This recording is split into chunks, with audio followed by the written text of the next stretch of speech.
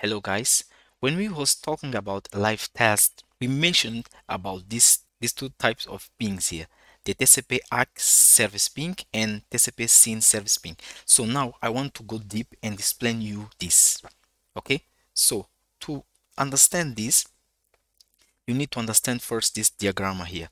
This three-way handshake diagram when you want to send or a client want to send a package or contact the server before he send the package the, he must know and make sure that the server is up.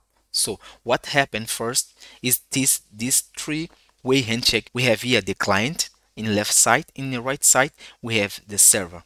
So the client will, will send a SYN message to the server and if the server is online the server will send a SYN ACK to the client and the client will send ACK message to this server. And after this the connection will be established all right?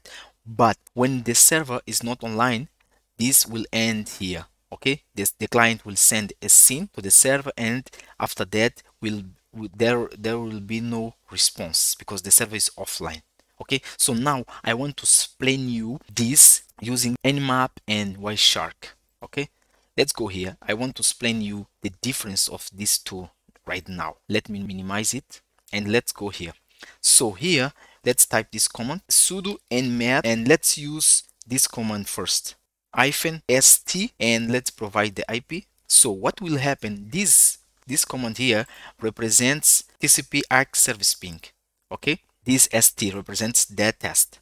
And this is my windows machine. So now let's go and hit enter to see the results. All right you see this result here? So now let me type again sudo nmap and instead of use this one i will use this one hyphen s uppercase s and i will provide my windows machine. And this represents this one tcp SYN service ping. Okay? And let's go here and hit enter. So here if you see looks like there is no difference between these two scans. Scan report host is up we have the ports here we have the same information here okay? So let's rerun this command but now using wireshark okay? The wireshark is a software used to analyze data in the network okay? So now i want to use wireshark and i will i'll run this command first and we will see the difference all right? Let's go to this icon kali icon application and let's go to sniffing and spoofing select Wireshark, provide Kali machine password and click authenticate. Wireshark will open, okay? And let's go to this icon here and start capturing package. Just click, minimize it. And so now let's run this command again. This one, st, the TCP ACK. All right, the scan is done. Okay, let's go to Wireshark now and let's stop it. So now what we need to do, you need to scroll scroll down or up until you find this red line here all right? So here in source you need to select your kali machine ip just select it in this column here source right click and go to follow and click tcp stream okay? Just close this this tab here close.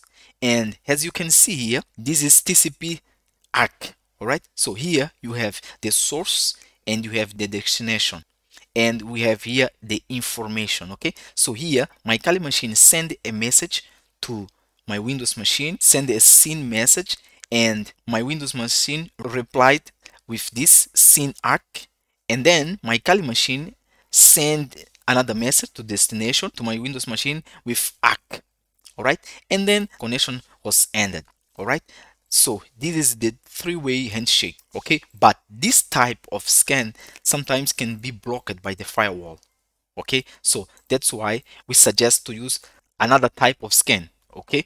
So let's do this. Let's clear here and let's start capture files continue without saving. And now let's go to our terminal and let's run this command now. Let's enter. Okay we have the result. Let's go to Wireshark and let's stop and let's scroll down at, until we find the red line. We found here the red line as you can see. Just right click and go to follow and TCP stream. Just close it.